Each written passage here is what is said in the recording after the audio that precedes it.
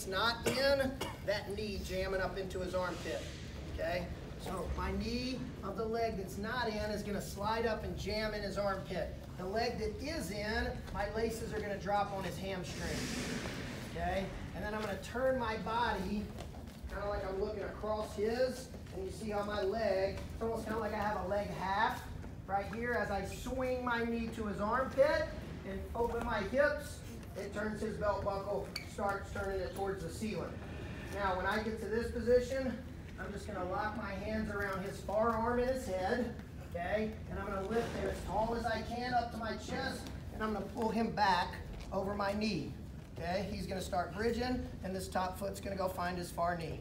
I'm not gonna pin him here, but the beautiful part of this is after I get my five count, and he bellies down, I'm right back on top, ankles are crossed, knees are wide, he feels miserable, okay?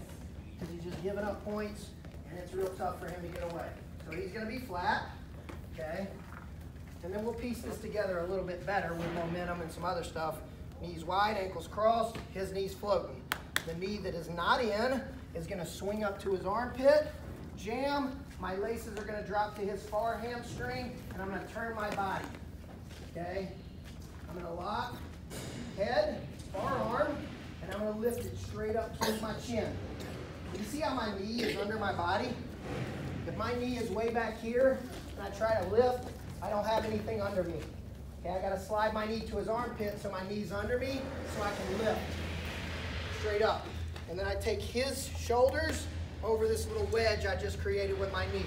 Fall back, squeeze tight, he's gonna bridge. I find his far knee with my foot, okay? Then he bellies down when? When does he belly down? Better. No, when does he belly down? When I let him belly down. He doesn't earn anything. I want him to feel like everything's the wrong answer and I'm always in control.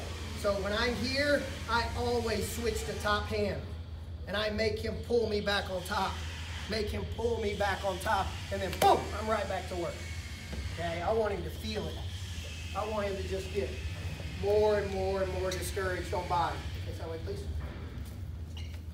And we'll do this out of a turn and, and talk about momentum here in a second.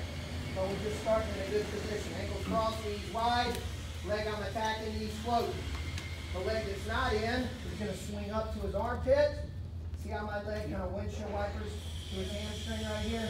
Here. And I open his hips up with my foot. My knee is under me, feet are in the mat, I'm athletic. Head, far arm, lift. It's gonna feel loose. I got some play in here. You can lock tighter if you want to. I really don't care so much about this being loose. I just want to get it up and over the wedge and find his far knee. Okay?